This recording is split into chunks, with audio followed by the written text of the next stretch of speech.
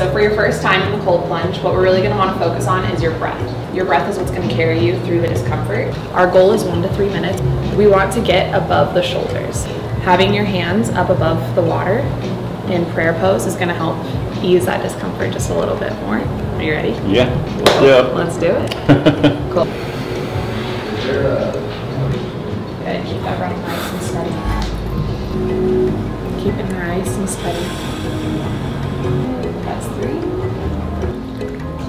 Good job!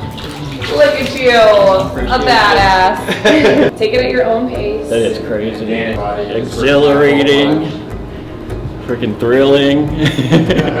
you do you do get numb after a while, so it does the pain does subside after you get in there. It truly is mind over body.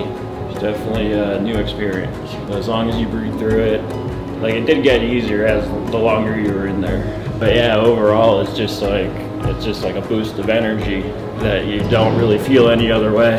So highly recommend it.